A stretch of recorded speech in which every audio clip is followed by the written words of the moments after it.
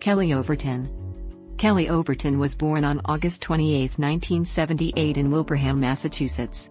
She is an American actress known for portraying Vanessa Van Helsing in the 2016 sci-fi fantasy drama series Van Helsing.